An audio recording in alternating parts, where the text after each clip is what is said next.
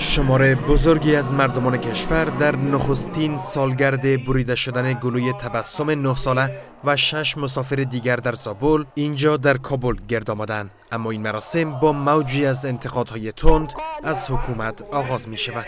معامله کنید وزارت رد و بدل کنید سفارت رد و بدل کنید اما به خواست عدالت خواهانه مردم ما تن ندهید. جنبش در داخل و در سطح جهان هر روز قویتر به راه خود ادامه می‌دهد. به هیچ یک از وعده هایی که داده بود عمل نشده بلکه تهدیدات امنیتی جدیتر گردیده.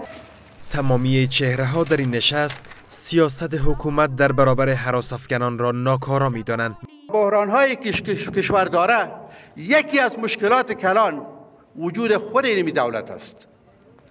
یعنی در واقع دولت خودش به یک معزل به یک مشکل تبدیل شده آقای غنی و عبدالله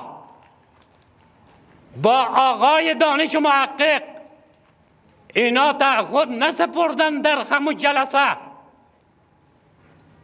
که ما عوامل ای را تحت پیگرد قانونی قرار می دهیم عوامل ای کجاست؟ در کنار این معاون نخست رئیس جمهور نیز با فرستادن بیانیه‌ای به این مراسم حرفهایی برای گفتن دارد.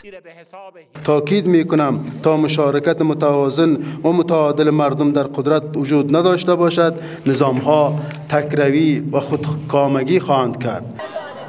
در سال گذشته هزاران تن از اعتراض کنندگان جسد شکریه تبسم و شش تن دیگر از مسافران گلو بریده شده سوی حراس در زابل را تا دروازه های ارگ ریاست جمهوری انتقال دادند. پس از آن نیز جنبش روشنایی اعتراضات بزرگی را سازماندهی کرد که حمله ها بر اعتراضات آنان در روز دوم اسد در کابل جان 86 تن را گرفت و بیش از 200 تن دیگر را زخمی ساخت.